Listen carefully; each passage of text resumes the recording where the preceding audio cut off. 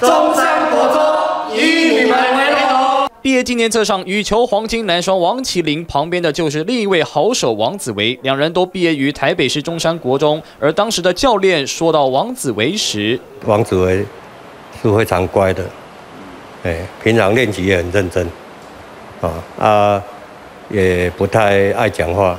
国中恩师陈金文说，他从来没经历过叛逆期，功课也维持得很好，实力更是不在话下。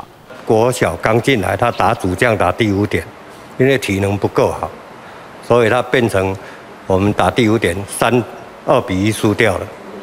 那后来经过半年多的训练，他一样打第五点，结果我们那一年全中运第一名。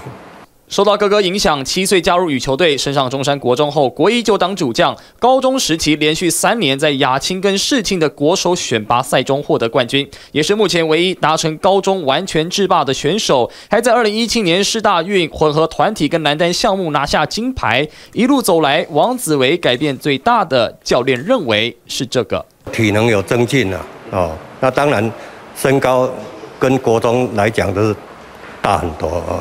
长高很多，这也是他最进步的地方。哦，那往前球也可以再加强一点。当然，也不忘点出子弟兵需要加强的部分。王子维能成功走到现在，家人也是最大后盾。七月二十八号，王爸爸看儿子比赛，还看到眼眶泛泪，被儿子感动没有了，流汗流汗。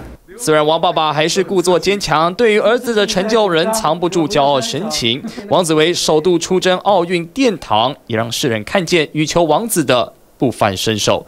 TVBS 新闻花少平、江美涵、林强 S N 小组台北采访报道。请订阅、按赞、分享 TVBS News 频道，要开启小铃铛哦。还有还有，下载 TVBS 新闻手机 App，随时掌握国内外大事。